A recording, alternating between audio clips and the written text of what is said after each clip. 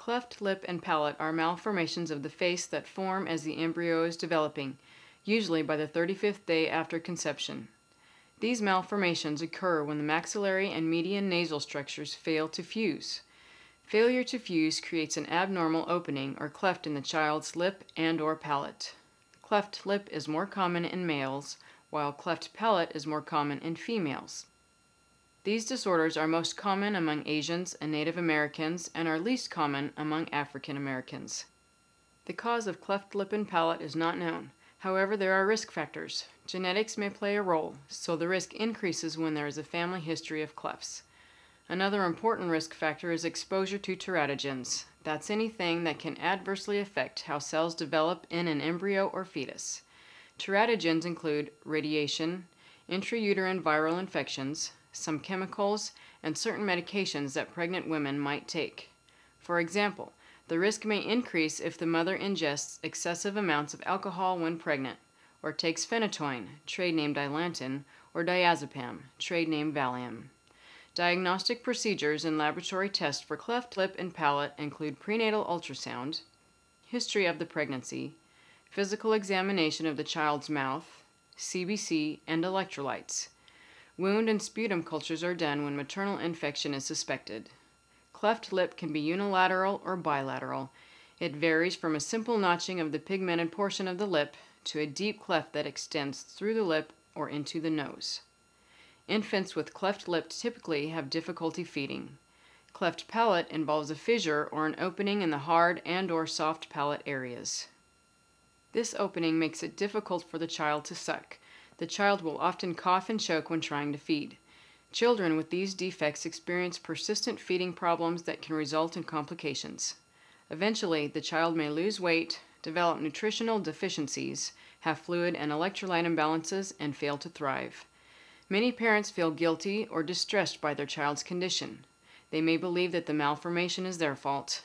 In addition, a sense of loss of the child they imagined can make it difficult for them to bond with the child.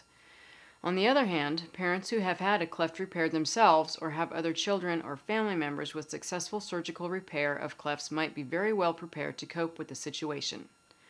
To correct cleft lip and palate, the child must undergo surgical repair and reconstruction. The process begins when the child is an infant and may continue into adulthood. Surgery for cleft lip is usually performed when the child is about three months old, while closure of a cleft palate might be done when the child is around one year old. Many nursing diagnoses are important both before and after surgery. Preoperative nursing diagnoses include altered nutrition, less than body requirements related to feeding difficulties, altered parent infant attachment related to parental feelings of guilt or loss, altered growth and development related to altered nutrition, and fluid volume deficit related to difficulty with sucking. Postoperative nursing diagnosis can include pain related to the surgical intervention, altered family processes related to stresses due to surgery, and a risk of injury and infection to the surgical site related to the surgical repair. For surgery to be successful, the child should be well cared for, adequately nourished, and in good general health prior to the procedure. Work closely with the parents during the preoperative period to foster parent infant bonding. Encourage parents to participate in the child's care as soon as possible after birth. When they feel ready, parents should hold and feed their baby. Help parents deal with any feelings of guilt they might have. Reassure them that they have done nothing wrong and that their child's malformation can be surgically corrected. It might help to show the parents some photographs of children before and after reconstructive surgery. You can also refer them to a support group where they can talk with other families who have had children with this problem. A helpful resource is the Cleft Palate Foundation. To promote good nutrition preoperatively, teach caregivers how to feed the child. To keep the infant from aspirating during feeding, instruct parents to hold the child in an upright position. Some children with cleft lip or palate may be able to breastfeed. However, if breastfeeding is not successful, the mother should then use a breast pump to express the milk and begin bottle feeding the expressed milk to the child. Parents can first try to feed the baby with a regular bottle and nipple. However, if the child has difficulty sucking, parents will need to use special feeding devices. One method for feeding is called the Enlarge, Stimulate, Swallow, and Rest ESSR method. The first step in ESSR is to enlarge the nipple by cutting a cross in the nipple. Enlarging the nipple minimizes the baby's sucking problem by allowing fluid to flow more easily into the back of the child's throat. The next step is to stimulate the sucking reflex. The caregiver should stroke the infant's lower lip with the nipple, then insert the nipple into the infant's mouth, invert the bottle, and direct the fluid to the back of the mouth. The infant will then swallow the fluid. After swallowing, let the child rest and then start the process again.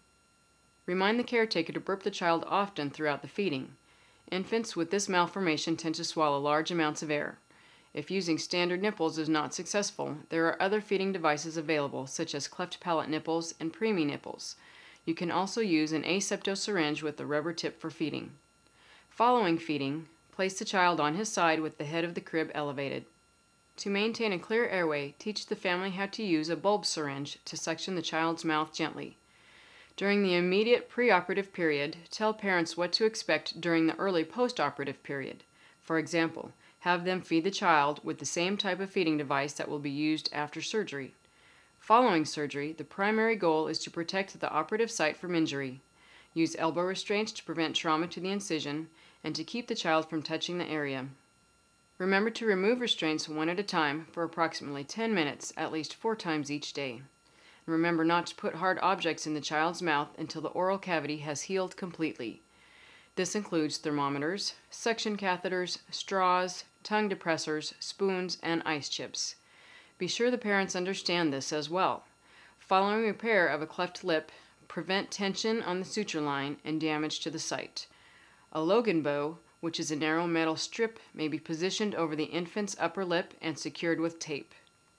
Pain management is also important following surgery. Observe for infant crying and restlessness and other indicators of pain. Postoperative pain medication is generally administered via the oral or intravenous routes. Do not give the baby a medicated pacifier because it could damage the surgical site. Throughout hospitalization, encourage the parents to hold and feed their child. Remind them to give the infant small amounts of water after feedings. Water helps rinse away milk that could otherwise promote bacterial growth. To prevent infection, clean the suture line after feedings. Use cotton tipped applicators to apply diluted hydrogen peroxide gently to the sutures. Apply a small amount of antibiotic ointment as prescribed to the suture line after cleansing the site. Also, observe for any bleeding around the surgical area. Remember to record the child's intake and output and weigh him daily. Prior to discharge, instruct the parents about long term management. Discuss resources for the child's speech, hearing, emotional, and dental needs. Help parents understand that their child may need multiple corrective surgeries as he grows into adulthood. While corrective surgery helps many children achieve a normal looking lip and good function, some children do develop long term complications. Long term postoperative complications include otitis media and hearing loss speech difficulties, failure to thrive, pulmonary complications from aspiration, malocclusion due to the abnormal eruption of teeth, and disruption of family life due to multiple surgeries.